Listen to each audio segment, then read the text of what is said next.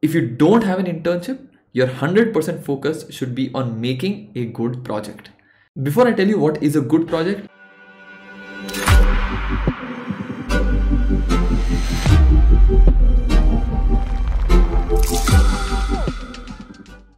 For all of us preparing for a product company like Amazon, Adobe, Facebook, Google, we all pretty much know the importance of data structures and algorithms. And we also know that there are some more things that all product companies look for, like internships, projects, and good communication skills. But this part, the internships part, many students struggle with getting the right internships. To impress product companies, your internship must have a good technology stack, a reputed company, and proper output. Basically, some application that you've built which you can actually show as proof of the internship. But what if you don't get an internship? You may be a good student, you've done your preparation, but due to lack of, let's say, access to companies or you know too much competition, you may have missed out on an internship. Don't worry. I have seen firsthand at Edyst many students cracking 20 to 40 lakhs per annum jobs and without having any internship in their second or third year. If you don't have an internship, your 100% focus should be on making a good project. Before I tell you what is a good project, let me tell you what is not a good project. Number one, if you finish the project in two days, it's too simple for a product company and won't be considered as good. If you pay someone else to do this project, it's definitely not a good project, be it for product or for services companies. Please avoid that. All right, so let's come to a good project. A good project for a product company is one in which number one, you spend anywhere between three to six weeks actually developing the project.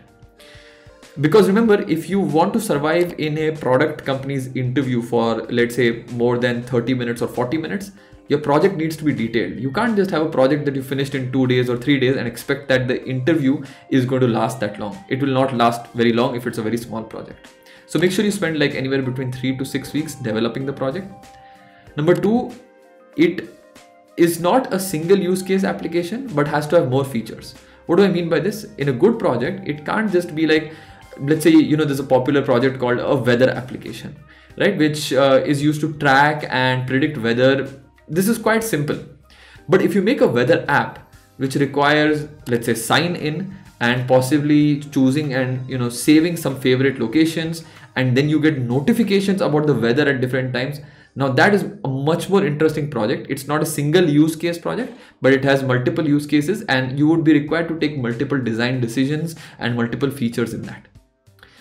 In a good project also you spend more time designing the overall architecture. That is how will the front end talk to the back end? How will the back end store the data in the database? Where are you going to deploy this?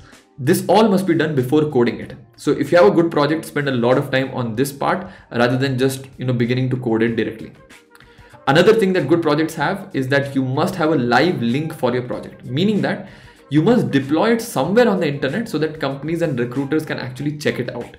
If you don't deploy it if you say that i have done so and so it's a little bit difficult to actually believe you.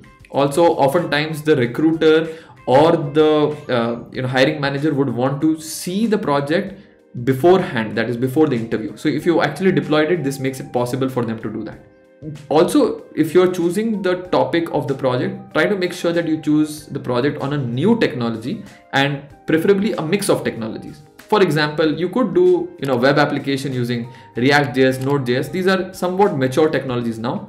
But if you also add some ai to it like you know you're doing a a web application that can predict data. So you're or predict the weather right? So now you're working a little bit on the ai front. Now you're still creating a web application but you're also using a little bit of ai in it. That is much more uh, palatable and you know will actually help you out more in these project or these product based interviews. Or let's say you create a mobile app which has some data science component or maybe some web app interfacing with a blockchain. Let's say you're interfacing with ethereum or with bitcoin. It just makes a lot more sense uh, to include that as a mixture rather than doing a standalone web application or a standalone blockchain application. And finally don't forget to make it look good take out an additional two three days at the end of the project and spend some time making the UI look really good, making you know putting some good colors over there. If you're not sure uh, how to make it look good and you know how to actually make it look appealing, you can go on to websites like Dribbble where you'll see a good number of mock-ups made by designers you can borrow some of those designs and actually use that as inspiration to make your application look quite good so these were some important considerations for making projects uh, to actually crack product companies in an upcoming video i'll share with you exactly how you can include the project on your resume and how these will help you get shortlisted in uh, the on-campus and off-campus rounds we hope you've enjoyed this video. Please hit the subscribe button if you did and let us know in the comments what other topics you'd like to know about.